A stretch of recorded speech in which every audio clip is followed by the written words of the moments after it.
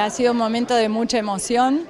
En lo particular, este, he compartido seis años con Rosa y Marcelo, entonces mucha emoción porque dejo este equipo, pero también muy contenta porque estamos comenzando una nueva etapa, una nueva gestión y bueno, y con Marisa y todo el equipo que hemos formado estamos, estamos eh, confiados que vamos a poder eh, alcanzar las metas que nos hemos propuesto, así que muy contentos de este momento. ¿Y cómo están pensando esta primera etapa de gestión? Bueno, en esta primera etapa ya estamos organizándonos, haciendo transición con las actuales secretarías, con las nuestras, ya estamos trabajando.